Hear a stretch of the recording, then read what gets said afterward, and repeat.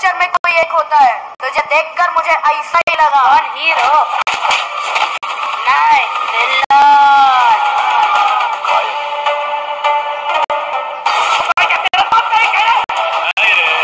तेरे बाप की और तेरा बाप।